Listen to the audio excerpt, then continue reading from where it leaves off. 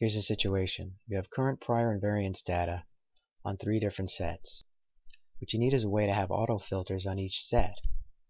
But there's no way to do that using the auto filter function in Excel. So normally what I would do is I would come up to the data ribbon and hit filter. I get these neat little buttons that allow you to do all kinds of things.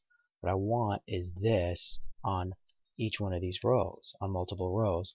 But the way I did it, Excel won't allow you to do that multiple times. But there is a way around it. I'm using Excel 2010, and if I make each one of these a table, then I can have those auto filters on multiple rows. So I highlight this whole area, this whole set, and I come up to Insert and hit Table and make it a table. And I do that again down here. Insert, Table, make it a table. One more time, and I can keep going as much as I need on a single sheet with this technique. Table, make it a table. Now if I don't like these colorings, there are preset colorings up here. I can come up here and make it blank like it had been. Or I can choose any color um, from the ones given up here that I like. And now I have these autofilter buttons. They're the same as the other ones, but now they're on multiple rows.